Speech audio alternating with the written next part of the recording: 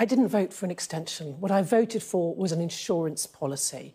All I did was support Oliver Letwin's amendment because I want to make sure that we leave with a deal, not no deal, which is what the original intent of the Benn Act was.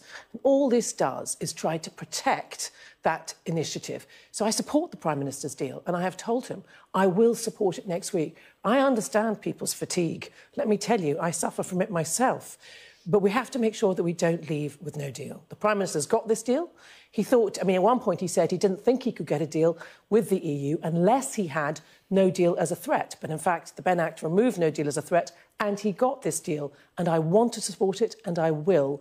And I think not all of us, but most of us from the conser- former, conservative, former Conservatives who supported the Letwin Amendment will do so as well. Interesting to hear that you will be supporting um, Yeah. the deal when it comes back. And next I have told the Prime Minister that. And, I, you know, it's quite possible we will still leave by October the 31st. But I think it's absolutely right to say we don't want to leave with no deal, but we do want to leave with a deal. And this deal from the Prime Minister is good enough for me.